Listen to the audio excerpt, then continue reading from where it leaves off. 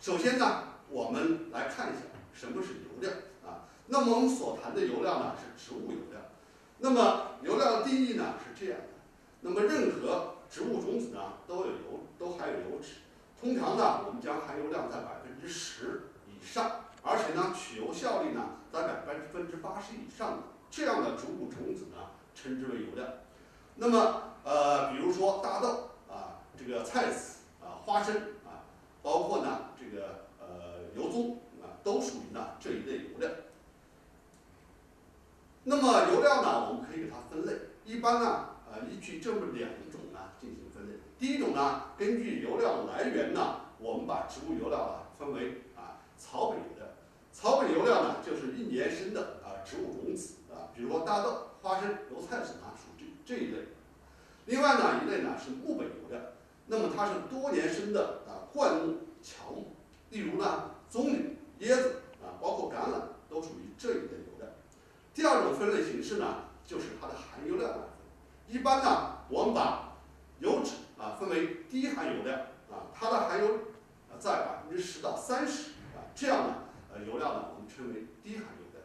那么低含油量，比如说大豆啊，包括棉籽，属于这一类。第二类呢，就是中含油的。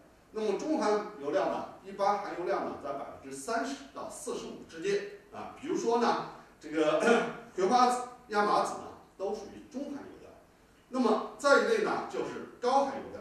高含油料呢，包括呢芝麻、花生啊、油棕啊这一类油脂，它的含油量呢在百分之四十五以上。那么油料呢，它除了含油脂之外，它还有其他的主要成分。那么它含有的成分呢，一就是油脂。那么全籽含油呢，一般油料当中呢含有百分之十到五十的油脂。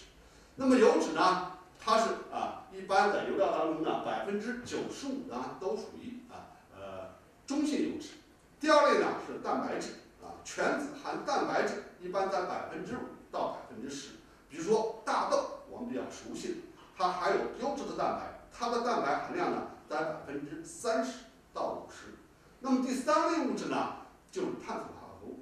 那么碳水化合物呢又分为呢啊糖类，也就是一些可溶性的糖。再一呢，就是啊粗纤维。那一般含糖呢，在百分之八到百分之二十五。那么含粗粗纤维呢，在百分之三到百分之二十。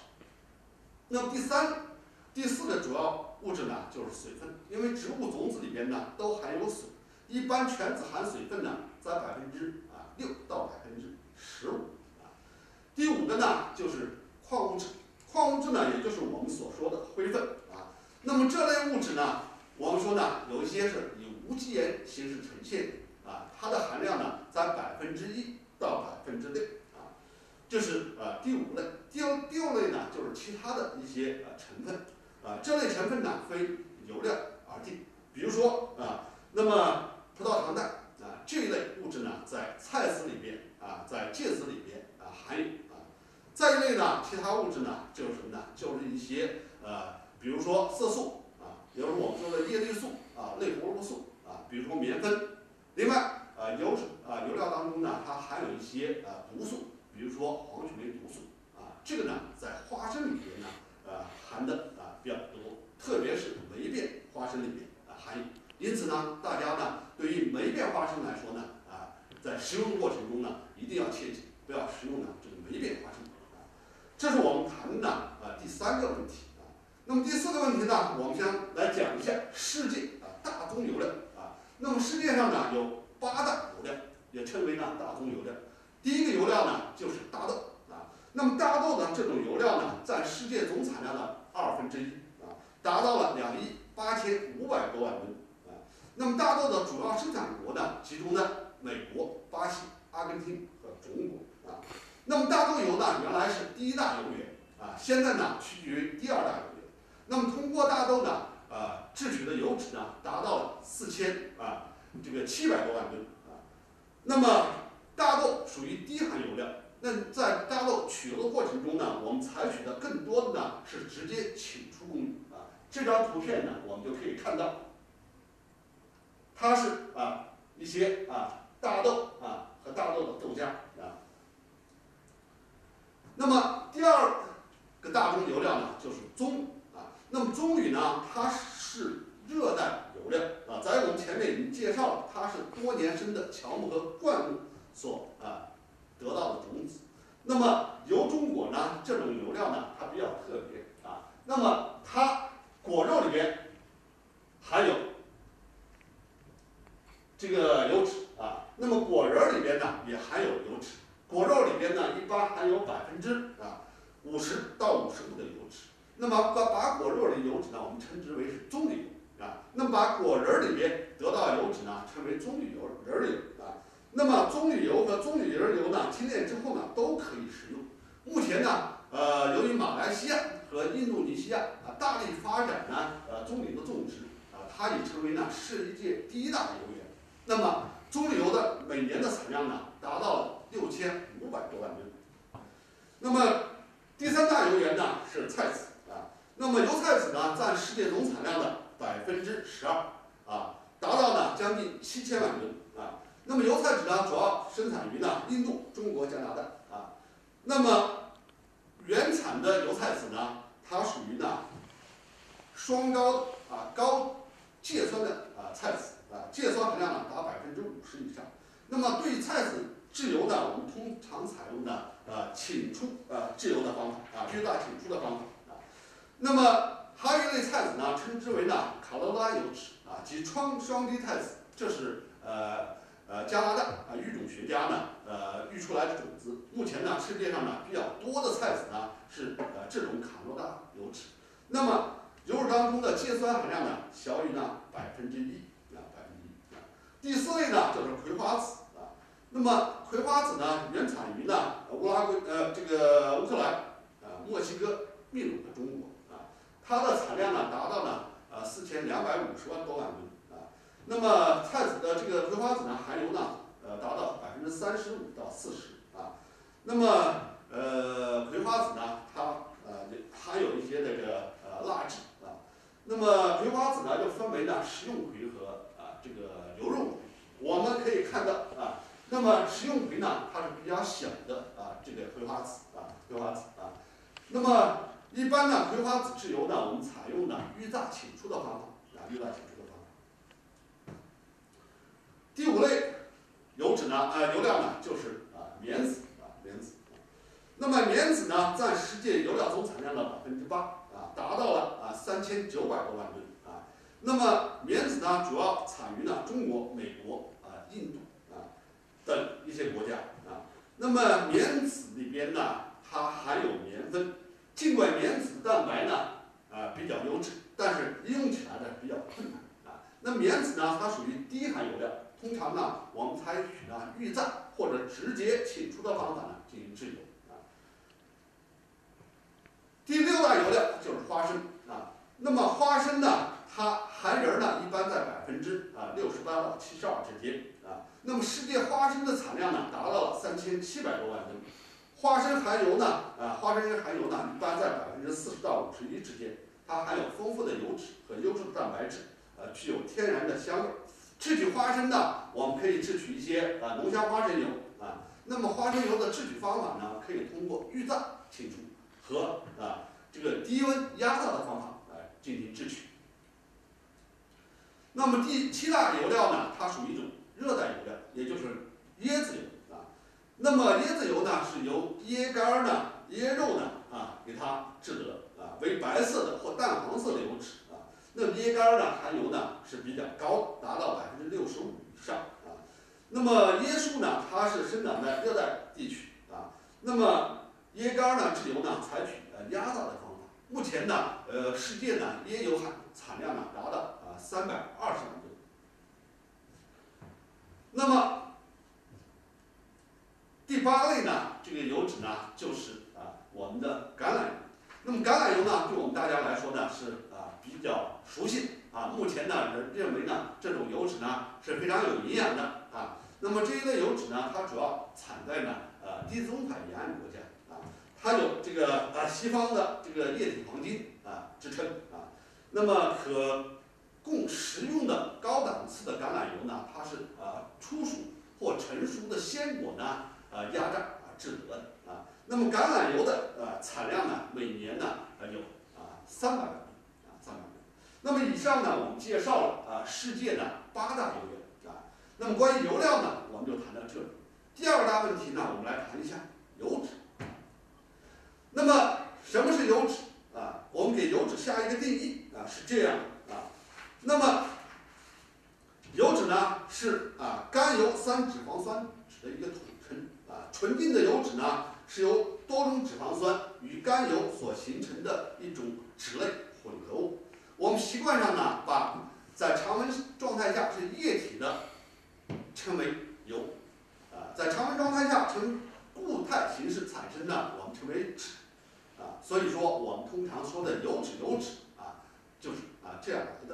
那么比如说我们大豆油啊、花生油啊，它都是液态的啊。那么还有一些呢，比如说啊动物油脂啊、猪油、牛油啊，在常温下呢是固态的啊固态啊。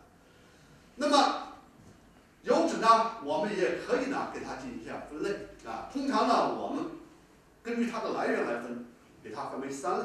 一类呢就是植物油脂啊，这是主要我们谈的。除了植物油脂之外，那么我们呢从外界得到的还有动物油脂啊，还有微生物油脂啊，这是我从来源上分类。如果说从它的干燥能力上来分呢，油脂就分为呢不干性油啊、半干性油和干性油脂啊。那我们食用的油脂呢，基本上呢都是啊不干性油。和半干性油，那么干性油脂呢，基本上是用于什么呢？用于呢工业使用，比如说铜童子油啊，可以呢呃作为油漆，在空气中呢容易结膜啊，这就是干净油脂。那么关于油脂的呃组成和它的结构，我们通过啊这个分子式呢就可以看到啊，我们说呢它是由一分子的甘油，也就是丙三醇和三分子的脂肪酸啊。那么脂肪酸呢，它是不同的，得到的啊化合而成的一个甘三酯的分子啊，我们啊就得到了油脂啊油脂啊。那么油脂的性质啊，我们主要谈一下它的化学性质，因为化学性质呢跟我们在加工过程中、在使用过程中呢是有关联的。那我们主要谈它四个啊这个化学啊这个性质。第一呢就是油脂的水解啊，油脂的水解啊。那么油脂它具有水解作用。那么我们前面说了，油脂是由啊一分子甘油和三分子脂肪酸啊它呃结合而成的。那么反过来说呢，我们在水解的过程中，有水的存在下啊，在适合的条件下呢，油脂分子呢可以水解，水解成甘油和脂肪酸啊。这个啊反应呢，也正是我们用油脂的啊生产啊脂肪酸的一个机理啊机理啊。这是油脂的水解。另外呢，油脂还可以造化，也就是说我们的造化反应啊。那么油脂呢，通过加碱之后呢，可以生成的脂肪酸钠。所谓的脂肪酸钠呢，就是我们所用的肥皂这个皂基的来源啊。那么在形成的过程中呢，也形成了什么呢？也形成了啊甘油啊。前面的啊水解呢是一个可逆的反应，这里的皂化呢是不可逆的。要说呢，油脂皂化之后，不可能呢再形成了啊，反过来形成油脂，这也就是我们用油脂呢生产啊这个皂基的原理啊，这是我们介绍的啊第二个化学性质。第三个化学性质呢，就是它的加成反应。那么油脂呢是由脂肪酸组成的一类物质，那么脂肪酸呢，通常呢我们都是呢十八碳啊的啊脂肪酸。那么脂肪酸呢，它的碳键呢有不饱和的双键啊。那么我们要通过呢加成反应呢，给它形成呢饱和的双键啊，饱和的双键。那么通常呢可以进行加氢啊，加氢啊。那么这个反应呢就是一个油脂的氢化的一个机理。我们通过加氢把不饱和的双键形成饱和的啊这个呃这个碳碳啊单键。这样呢，就可以使我们的啊油脂呢啊进行改性，可以提高的它的抗氧化能力，这也是油脂改性的啊一个啊手段。这是我们谈的啊第三个化学性质。那么第四个化学性质呢，就是油脂的氧化，油脂的氧化啊。那么油脂的氧化呢，分为呢化学氧化和空气氧化啊。那么在自然界呢，我们的油脂呢，空气氧化呢又分为呢啊它的啊这个自动氧化、呃光氧化和酶促氧化啊。那么氧化呢，是我们油脂啊这个科研呃工作者的呃一个呃对于油脂研究的一个课题。我们研究它呢，就要研究它抗氧化，因为油脂氧化之后呢，它会使油脂呢败坏啊，使油脂呢发生分解、聚合，以及呢产生一些酸败啊，造成一些哈喇味啊。那么酸败的油脂、氧化的油脂呢是啊不能食用的啊，不能食用的。这也是我们介绍油脂呢，它有四个啊这么主要的啊这个化学性质。那么接下来呢，我们来介绍一下啊油脂在加工过程中的啊它的啊制取的工艺技术啊制取的工艺技术啊。首先我们来看一下啊油脂呢，就是从油料生产出来油脂呢，它要经过这么几个环节。第一个呢就是它的预处理啊工艺油料的预处理工艺。所谓的油料的预处理工艺呢，就是将颗粒状的油料啊制备成呢适合于取油的料胚。啊，在这个过程当中呢，我们对颗粒性的物料呢进行啊清理，进行剥壳，有壳的进行剥壳，啊，进行软化，进行杂配，啊。那么如果说我们对它呢进行直接清除的话，直接进行干燥或者膨化；如果说我们对它进行压榨取油的话，把生胚呢炒成熟胚，啊。这里我们强调的就是，如果说对于啊这个直接啊清除的话，我们就可以作为生胚，啊。那么如果说呢，我们啊做成呢这个其他的啊这个对于呃这个请出物料来说呢，啊这个我们做成生胚和膨化物料。对于压榨取油呢，我们可以呢给它做成呢熟胚，啊把生胚呢给它制熟了啊。这是我们谈的它的啊预处理工艺。那么对照我们的葵花籽油料来说呢，它预处理工艺呢可以看到啊，首先呢葵花籽呢要经过什么呢？经过呢？啊，这个出渣，啊，完了之后呢，经过啊破碎剥壳，啊破碎剥壳，完了之后呢，经过啊人壳分离，最后呢，经过杂胚，啊，经过蒸炒之后呢，得到熟胚，啊，那么前面说了，葵花籽呢是中含油料，那么一般采用呢呃预榨浸出的方法这种啊，那么接下来呢，我们就要谈一下啊另外一种取油的方法，就是啊。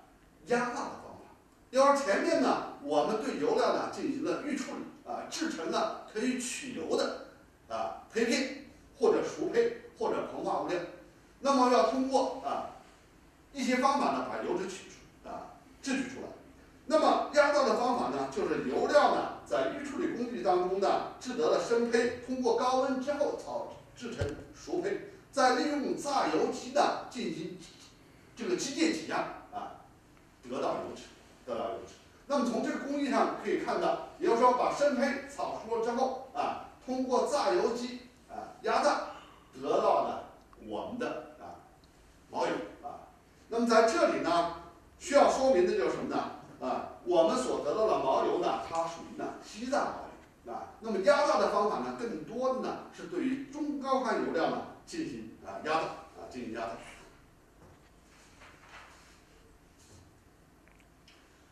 那么这张图片呢，就是一个榨油机在啊榨油啊，那么得到的油脂啊，油脂在经过过滤之后呢，得到啊出脂啊出脂啊，那么这也是我们葵花籽啊压榨的一个工艺流程啊。这是一种去油的方法，是通过机械啊压榨的方法，或者说我们通常说的物理的方法，得到一种啊这个油脂。那么对于大豆来说呢，在制油的过程当中呢，它啊与葵花籽呢有所不同啊，但啊预处理工艺呢啊它是相同的。那葵花籽呢，我们可以看到啊制呃这个大豆呢，我们可以看到它的原料呢，一个啊我们目前呢加工的原料更多的啊是呃美国大豆或者巴西大豆啊这两张图片啊。那么通过呢对它进行啊调整啊进行软化啊，我们可以呢再进行呢破碎啊，得到呢这样的啊大豆的破碎粒啊分离出来豆皮啊，经过下面的加工啊，这已经把颗粒状大豆破成啊小颗粒的啊碎块儿啊。那么我们在在这个过程当中呢，所使用的啊主要的设备呢有啊振动塞啊有破碎机啊。那破碎的豆粒呢，在经过什么呢？经过压胚啊，再经过呢膨化，可以得到什么呢？得到胚片，这就是我们的压胚机啊，把颗粒状的物料呢压成薄的胚片啊，薄的胚片啊，利用去油啊。另外呢，我们把胚片呢可以进行呢挤压膨化，得到这个膨化的物料。那么膨化的物料呢，一般呢它的密度比较高啊，它的空隙度比较大，所以说在紧出的过程中呢是比较利于呢取油的。